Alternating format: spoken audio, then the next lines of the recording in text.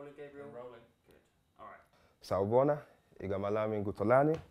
Eh mina ngingumhumushi futhi ngingumbali. Ngazalelwa eLondon lapha futhi ngakhuliswa lapha.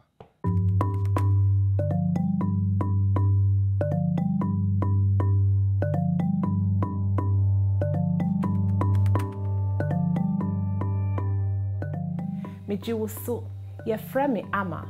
Mefiri Ghana nanso mete London. Medɔ abibima mammerɛ.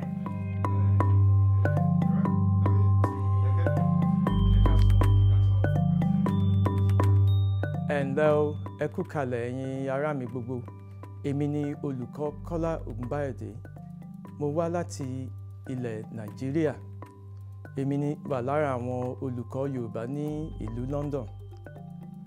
Yàtọ̀ sí èdè Yorùbá mo tún gbọ́ èdè Gẹ̀ẹ́sì èdè Ìgbò àti èdè Haúsá mo tún gbọ́ èdè Pidgin tá a máa ń sọ ní ilẹ̀ Nàìjíríà.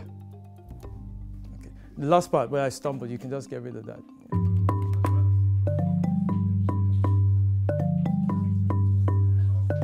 I enjoy learning Yoruba because when I go to Nigeria, I'm able to speak to my uncles and aunties. Ekaso Orokomini Lanre.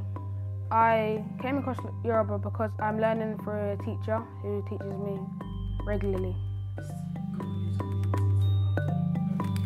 Donc nalobaka lingala très bien. Nakomaka mpe et puis euh, baparent na ngai depuis toya angleterre balakisanga toujours lingala tolobango na ndako elelo nga mpe naza mama donc euh, epermetanga mpe nalakisa bana na ngai so i'm saying that um, i speak lingala fluently. I write it as well.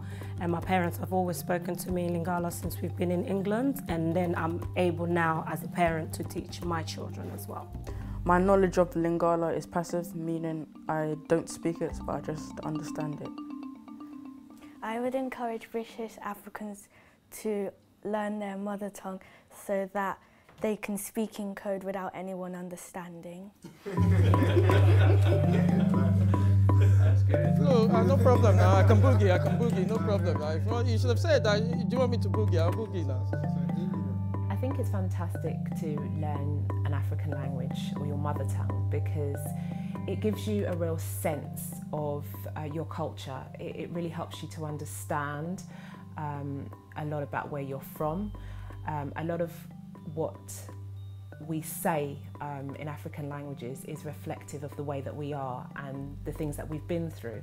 And so through the language, you learn a lot about those things as a child, I think it's important to, to understand your culture, particularly now, because we see so many things happening with kids, partly because they don't understand a lot about where they're from. They don't realise their heritage. They're maybe not proud of where they've come from. And if they really understand and if they really delve deep into the language and the culture, I really believe that it will make a difference as to how they conduct themselves and how much confidence they have in themselves. So three things that we have learned uh, today. Number one, that parents in the UK are still teaching their children their mother tongue. The second thing we've learned is that children and youth are appreciative. Some children and some youth are appreciative of learning their languages. And thirdly, we've also learned that it's possible to be born and brought up in London or in the UK and be fluent in your mother tongue.